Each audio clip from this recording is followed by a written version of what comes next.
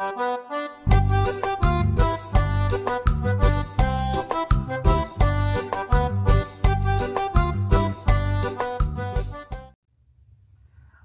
turma do quinto ano! Vocês estão bem? Espero que sim, espero que todos estejam muito bem. Hoje nós teremos mais uma aula de geografia e eu, a professora Maísa, estou aqui para acompanhar vocês nesse momento de aprendizagem. Então é muito importante, como eu venho falando desde o princípio, vocês terem um lugar bem aconchegante, um lugar organizado e preparado para que você possa estudar, para que você possa assistir essa aula, que você possa responder suas atividades. Então é muito importante preparar um cantinho de estudos. Prepare aí o seu cantinho, que eu vou estar aqui do outro lado da telinha para ajudar vocês.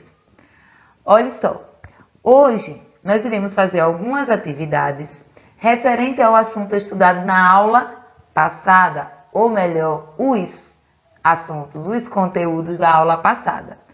Mas não se preocupe, não entre em pânico, não se assuste.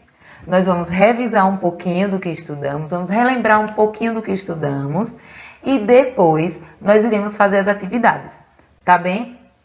Mas antes disso, eu tenho um recadinho para vocês. Olha só, vocês têm se cuidado direitinho, vocês têm se protegido contra o coronavírus, têm lavado as mãos bastante, têm usado álcool, têm utilizado, usado a máscara para sair. Eu espero que sim, eu espero que você esteja fazendo a sua parte, porque eu estou aqui fazendo a minha parte para que juntos possamos sair dessa. Então, eu preciso cuidar de mim. Quando eu uso a máscara, eu estou cuidando de mim e estou cuidando dos outros, estou cuidando de vocês também. Então é importante que eu utilize a máscara para poder me prevenir e para poder prevenir e cuidar de quem está à minha volta, das pessoas que eu amo. Então é importante que você se cuide, tá? Que eu me cuide, para que assim possamos cuidar uns dos outros. Eu me cuido, você se cuida e juntos cuidamos uns dos outros, tá bom? Então, meu recadinho para vocês é, meu recadinho para você que está aí me assistindo agora é cuide-se, cuide-se e cuide-se. Cuide-se, gente. É muito importante nesse momento. É por amor, tá? Em breve estaremos todos juntos. Tudo está começando a, a se organizar, né? Para que em breve possamos estar todos juntinhos e na nossa sala de aula aconchegante, tá bom? Então, cuide de você, eu vou ficar aqui cuidando de mim. Eu estou aqui agora sem usar máscara porque eu estou sozinha nesse momento. Então eu vou cuidar de mim, você vai cuidar de você. E juntos cuidaremos de todos, tá bom? E agora vamos começar a nossa aula. Na aula de hoje, hum, quanta coisa! Nós iremos revisar um pouquinho de tudo que estudamos na aula passada, tá bom? Vamos fazer um breve resumo. Vamos lembrar um pouquinho do que estudamos na aula passada?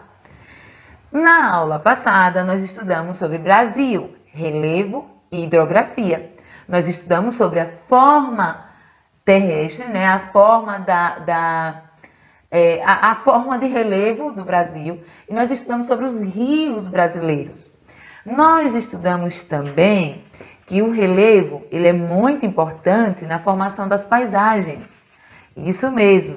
O relevo é importante na formação das paisagens, né? E ele traz a sua contribuição. Por isso que nós vemos várias paisagens diferentes, por isso que as paisagens são diferentes, né? O relevo é o conjunto de formas da superfície terrestre. Nós vimos também na aula passada. É o conjunto das formas da superfície terrestre. Por isso tem lugares que são lugares que são mais altos, outros mais baixos, outros mais planos. Então tudo isso é o relevo. E ele vai definir as paisagens brasileiras. Aí nós temos no Brasil três importantes relevos, que é planície, planalto e depressão. Esses três relevos são característicos do Brasil, tá bem? Porém, os dois tipos de relevo que predominam aqui no Brasil são os planaltos e as depressões. Temos as planícies, porém, em um tamanho reduzido, em um tamanho menor, se comparado ao planalto e à depressão. Então, planalto e depressão são as formas de relevo que mais predomina na, é, no território brasileiro. Aí, nós vimos também que os rios, eles também contribuem para a formação das paisagens brasileiras e que existem alguns tipos de, de rios, né? E que esses rios, eles vão ser definidos, eles vão ser é, organizados, né? Ele, ele vai ter a sua forma dependendo do relevo do lugar. Por exemplo, existem rios de planícies, que são rios que correm plano, em uma superfície mais plana. Você pode observar nessa imagem aqui, que está bem pequena para você, mas já para dar uma observada. Foi da aula passada também. Caso tenha mais alguma dúvida, pode voltar na aula passada. Nós temos os rios de planalto, que são esses rios aqui, olha só, que correm em um relevo mais irregular, em um relevo de planalto, em um relevo com, com altitude mais elevada. E aí, esses dois rios, eles desempenham funções diferentes, né? Por exemplo, os rios de planícies, eles são ótimos, eles são bastante utilizados para navegação, pois por ser plano e facilitar então a navegação. Já os rios de planalto, que são esses rios que correm assim onde tem cachoeiras, né, e formam ali as cachoeiras, eles são rios que são bastante utilizados para a produção de energia elétrica.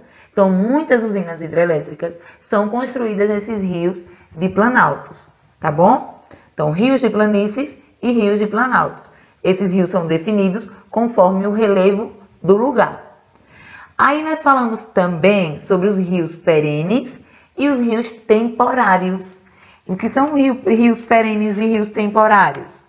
Nós vimos que os rios perenes são aqueles que mantêm a sua água durante o ano inteiro. Quando há escassez de chuva, né, pouca chuva naquele lugar, ele diminui o volume de água, porém ele não some totalmente, ele continua ali com um volume de água mais baixo.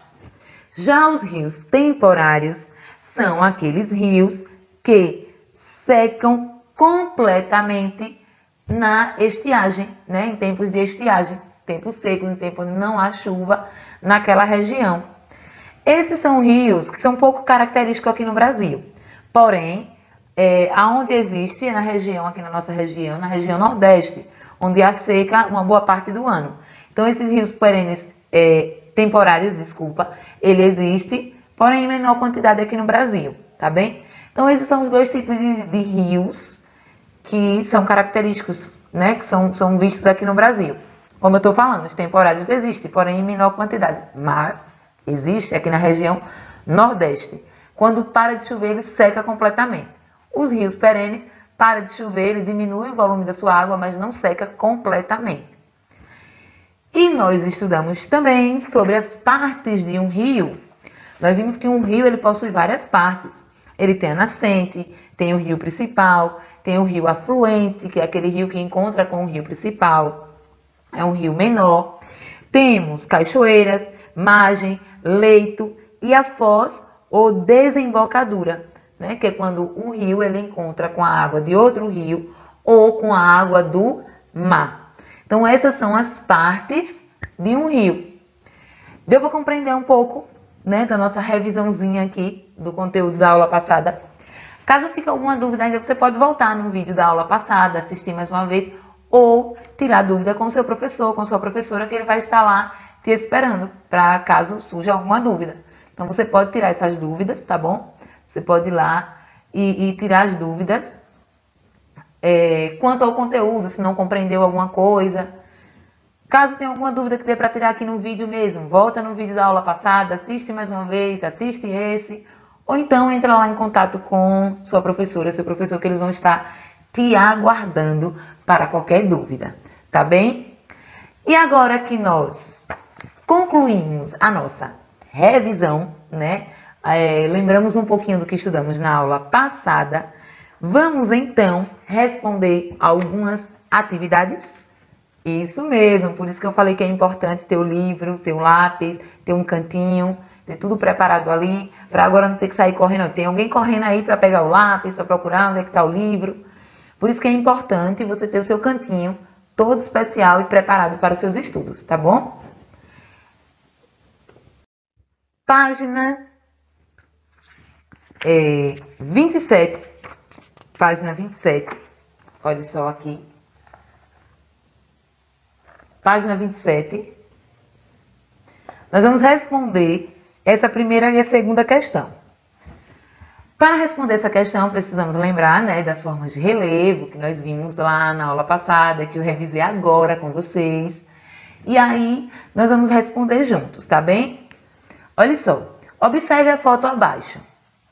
Em seguida, marque um X na alternativa que descreve corretamente a forma de relevo retratada. Qual é a forma de relevo que está sendo retratada aqui? Aqui. Nessa imagem, que é a mesma aí no livro de vocês. Você consegue lembrar qual é a forma de relevo? É um relevo que com altitude mais elevada, né? Tem lá a sua, seu, é, o seu topo. E aí? Olha só. A primeira alternativa, a primeira afirmativa diz o seguinte: a foto retrata o relevo de planície. Essa forma de relevo apresenta terreno mais hum, terreno, na maioria das vezes plano. Hum, hum, não estou vendo terreno plano aqui não e levemente mais elevado que o nível do mar. Ok, um pouco mais elevado que o nível do mar. Porém, aqui não estou vendo nada plano. Segunda afirmativa, que é essa daqui. É, você pode ir acompanhando no seu livro. A foto retrata o relevo de planalto. Hum, essa forma de relevo apresenta elevações de terreno. Olha só, o terreno é mais elevado. Vamos segurar aí essa. Terceira afirmativa. A foto retrata um relevo de depressão. Essa forma de relevo apresenta forma, é, é, essa forma de relevo apresenta terreno mais baixo do que as áreas vizinhas. Ixi, não estou conseguindo ver um terreno mais baixo aqui do que as áreas vizinhas, não. Se eu focar nesse, nesse monte que está aqui na minha frente. Então, a forma de relevo que é apresentada nessa foto é Planalto, muito bem. Né? Essa forma de relevo apresenta elevações de terreno, um terreno um pouco mais elevado. Então, são os planaltos. Isso, isso, isso. Gostei de ver. E aí você responde essa questão. Vamos para a segunda questão, ainda na página 27. Segunda questão. Para responder a segunda questão, é necessário que você volte na página 25 e observe o mapa, o mapa da página 25, que é esse mapa aqui, que apresenta as formas de relevo brasileiro, né? Formas de relevo brasileiro. E aqui nós temos os planaltos em marrom, né? As depressões em amarelo, que é o que mais predomina, e as planícies em verde, são esses menores, né? Nós temos esses três tipos. Que forma de relevo ou quais formas de relevo predomina na, no território brasileiro? Quais são as formas de relevo que mais predomina no território brasileiro? São dois. São duas formas. Dúvidas? Pergunte lá para sua professora. e aí você pode observar. E aí, quais são as cores que estão mais se destacando aqui? Aí você observa quais são as cores que estão mais em destaque. Você vai ver o marrom e o amarelo. Então você vai ver que as formas de relevo que mais se destacam são essas que estão em marrom e amarelo. Tá bom? Aí, na, na letra B, você vai fazer, você vai dizer que forma de relevo existe no estado onde você vive. No estado onde nós moramos, Aqui, olha, o estado de Sergipe, aqui pequenininho, pequenino. Está bem amarelo e um pouquinho verde, um pouquinho marrom. Então, qual é a forma de relevo que se destaca aí? Você pode me dizer qual é a forma de relevo? A forma de relevo que se destaca, né, nessa área aí é, né, aqui no território de Sergipe, né, no estado de Sergipe, são as depressões e as planícies, mas a que mais destaca, você pode colocar as duas, as depressões e as planícies. Porque os planaltos está bem pequenininho, está bem pouquinho, tá bom? E eu dei a resposta que não era para dar, mas tudo bem. Aí você responde e qualquer dúvida vai tirando lá com sua professora, tá? Com seu professor. E agora, na página 36, nós iremos responder né, mais outra atividade da sessão Pratique e Aprenda. Porque não adianta só aprender e não colocar em prática, tem que praticar para aprender mais. Aqui nós temos as seguintes, as seguintes questões. Olha aí na página 36. Olha só, observem. Aqui. Página 36. Nós temos a questão 1, né? Letra A, B, C. E nós vamos continuar daqui a pouco na página 37. Vou responder apenas uma questão com vocês aqui. Esta vai ser com vocês, tá? As outras vai ser com vocês. Então aí nós temos o seguinte, olha, observe o mapa a seguir e depois responda as questões.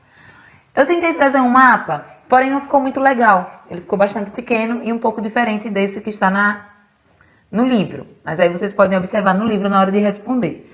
Olha só. Observe esse mapa, né? Esse mapa aqui é o mapa né, das principais hidrografias brasileiras principais hidrografias, ou seja, os principais rios brasileiros, né? É, os principais rios que existem no Brasil. E aí, observando o mapa, né, você vai poder ver os rios, os rios temporários, né? Aqui na legenda vem dizendo, olha só, rios perenes, rios temporários. Olha aqui. Né? Você vai poder observar isso aqui e aí vai conseguir responder melhor. Na questão A, pergunta é a seguinte: que informações o mapa apresenta? Quais são as informações que esse mapa do seu livro, esse mapa aqui, que é praticamente é, as mesmas informações, apresenta para gente?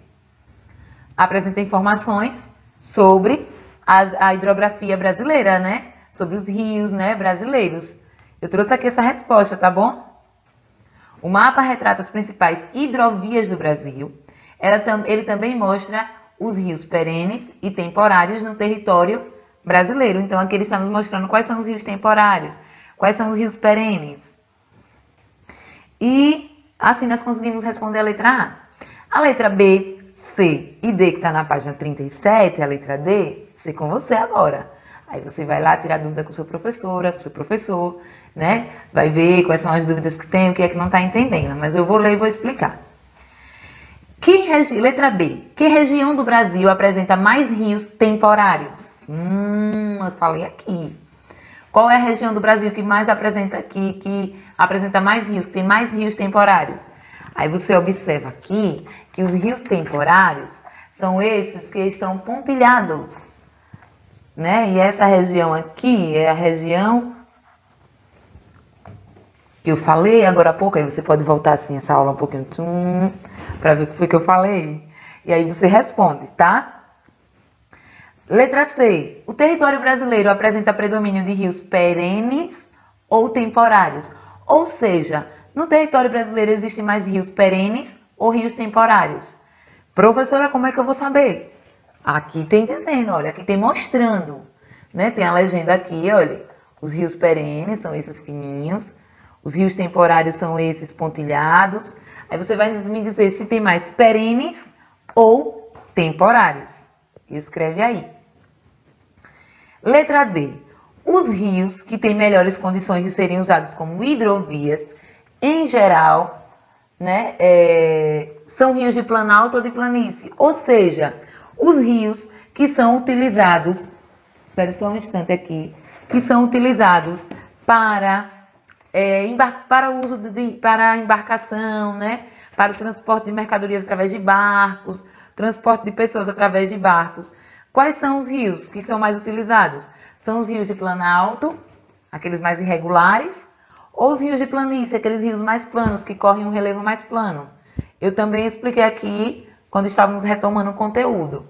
E aí você coloca aí. Gente, a questão D está na página 37, tá bom? Olha aqui. E agora na página 37, a segunda questão. Aí você, qualquer dúvida, entra em contato lá com o seu professor, tá bem? Segunda questão, da página 37.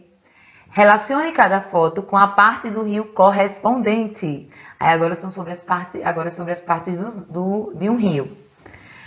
Aí nós temos essa parte aqui, deixa eu mostrar aqui com a setinha, essa parte aqui que é o encontro, né, das águas do rio com o mar. Nós temos essa parte aqui que está lá descendo, né, do alto. Nós temos essa parte aqui que ele está lá começando a surgir, ele está nascendo. E nós temos essa parte aqui que é o encontro de dois rios, um rio maior se encontrando com um menor. Aí você vai dizer qual dessas partes aqui é uma cachoeira, tá muito fácil. Qual dessas partes aqui é um rio afluente desaguando em um rio principal? Qual dessas partes aqui é a foz de um rio no oceano, né, na água do mar? E qual dessas partes aqui é a nascente do rio? O rio está nascendo ainda. Aí vocês podem observar na página 37. Olha aqui embaixo. E aí você vai colocar a letrinha, né? C, A, B, C ou D. Você observa aqui e responde aqui. Ok. Dúvidas, dúvidas e dúvidas?